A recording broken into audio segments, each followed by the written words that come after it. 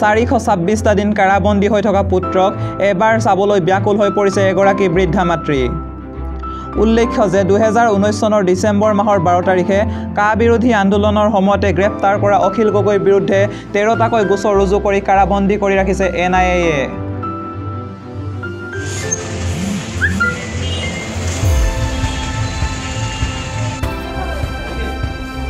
ইফালে পুত্ৰৰ চিন্তাত দিনক দিনে শাৰীৰিক আৰু মানসিকভাৱে ভাগি পৰিছে তেওঁৰ মাতৃ প্ৰিয়তা গগৈ।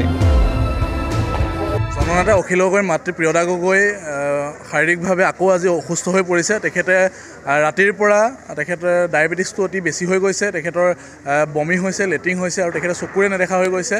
পুত্ৰ যিহেতু আজি এবছৰ অধিককাল আহ, অখিল গগৈ ডাঙৰীয়া কাৰাগাৰত থাকিব লগা হৈছে চৰকাৰখনে অতি আক্ৰোশমূলকভাৱে তেখেতক কাৰাগাৰত ৰাখিছে।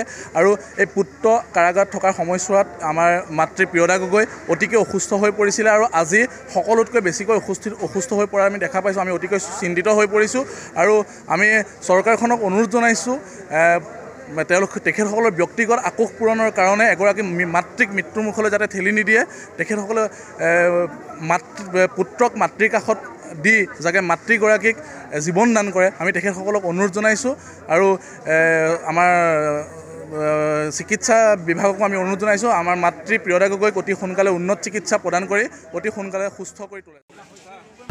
যোৱা নিশা চুগাৰ বৃদ্ধি হৈ চকুৰে নেদেখা হৈ পৰাৰ উপৰিও বমি মূৰৰ বিষ জ্বৰত আক্ৰান্ত হৈছে মাতৃগৰাকী। আজি তেওঁৰ উন্নত চিকিৎসাৰ বাবে যোৰহাট মেডিকেল কলেজলৈ লৈ যোৱা হৈছে।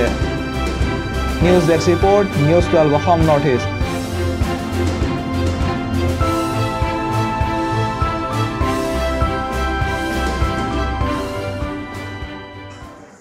অসমৰ জননেতা অখিল গগৈৰ মাতৃ পুনৰবাৰ শাৰীৰিকভাৱে অসুস্থ হৈ পৰিছে।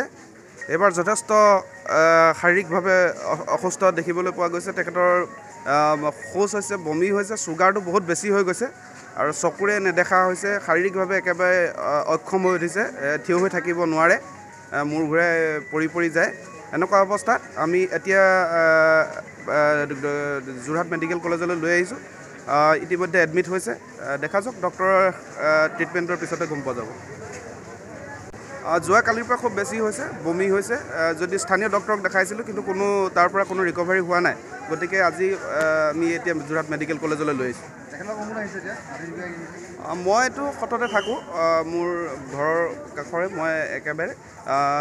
গতিকে মই আহিছোঁ আৰু লগতে থকা আমাৰ সকলোৰে সংগ্ৰামী সতীৰ্থ অজয় তাঁতী আছে। অজয় তাঁতী আহিছে লগত